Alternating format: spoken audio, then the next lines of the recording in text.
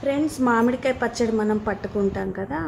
మామిడికాయ పచ్చడి అలాగే ఎర్రగా ఉండాలంటే ఇదివరకేమో జాడీల్లో పెట్టుకునే వాళ్ళం ఎంత మంచిగా మనం చేసుకొని ఎంత దానికి క్లాత్ కట్టి జాడీకి క్లాత్ కట్టి చాలా ప్రెషస్గా భావిస్తారు కదా? పచ్చడిని చాలా జాగ్రత్తగా మనం పెట్టేవాళ్ళు వెనుక.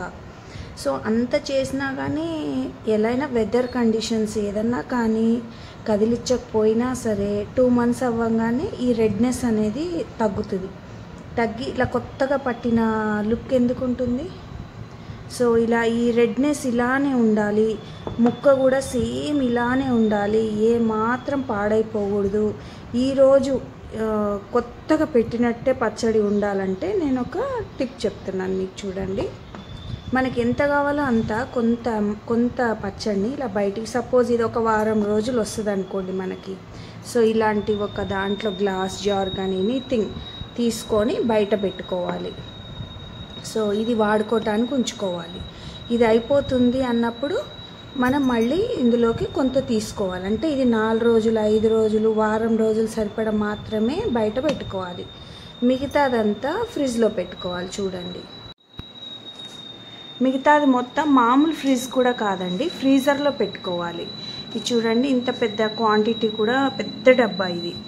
ఈ క్వాంటిటీ మొత్తం నేను ఫ్రీజర్లో పెట్టేశాను. ఇది ఇంకొక బాక్స్లో కూడా తీసి ఫ్రీజర్లో పెట్టాను. అంటే దీన్ని నేను కదిలించను అనమాట కదిలిస్తూ ఉంటే ఏంటంటే పాడైపోతుంది. సో ఇది కదిలించకుండా అలానే పెట్టాలి. ఇది ఎప్పుడు తీయాలి? దాదాపు ఒక ఐదారు నెలల తర్వాత ఇది తీసుకొని వాడుకోవాలి. సో ఈ గిన్నె తీసుకున్నాం కదా ఇందులో ఇంచి మనం కొంచెం కొంచెం ఆ బయట గిన్నెలోకి తీసుకోవాలి.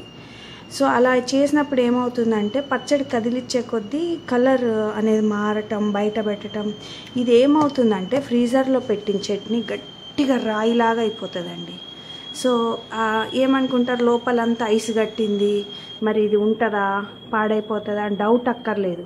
ఇందులో ఉన్న మాయిశ్చరే గడ్డగడుతుంది. బయట నుంచి ఎక్స్టర్నల్ మాయిశ్చర్ ఇవ్వ ఇవ్వట్లేదు. మూత గట్టిగా ఉంది చూడండి. సో దీంట్లో ఉన్న మాయిశ్చరే ఇందులో ఉంది కాబట్టి ఎట్టి పరిస్థితుల్లో పాడు కాదు కలర్ మారదు కొత్తగా ఉంటుంది. ఇప్పుడు మేలో పడితే నెక్స్ట్ మే వచ్చే వరకు ఇదే కలర్లో ఉంటుంది. ముక్క పాడు కాదు.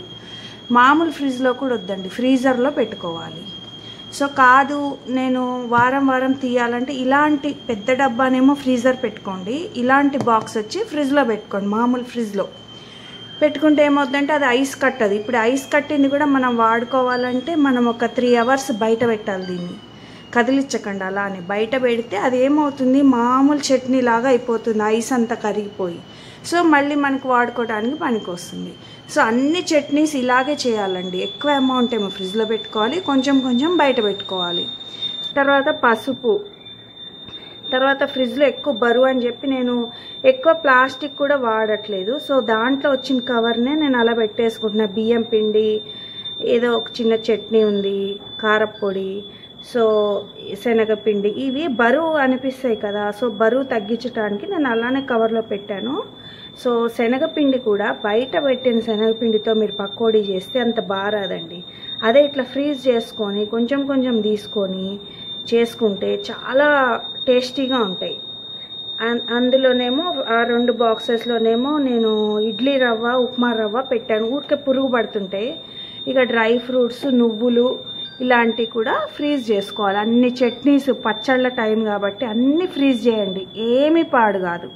మీకు డౌటే లేదు. పాడవుతుందని డౌటే లేదు. ఎక్స్టర్నల్ వాటర్ ఏమి ఎంటర్ కాదు అందులో. లోపలున్న వాటరే ఐస్ పడుతుంది. సో పాడు కాదు. మేము ఇలానే చేస్తాను. సో నేను కాన్ఫిడెంట్గా చెప్తున్నా. చక్కగా ఫ్రీజర్లో పెట్టుకోండి. ముక్క అలానే ఉంటుంది. జాడీలో పెట్టితే ముక్క మారుతుంది మెత్తబడుతుందండి. మళ్ళీ నెక్స్ట్ మే వచ్చే వరకు జాడీలో పెట్టి చూడండి మెత్తబడుతుంది. మీరు ఇలా చేసుకోండి.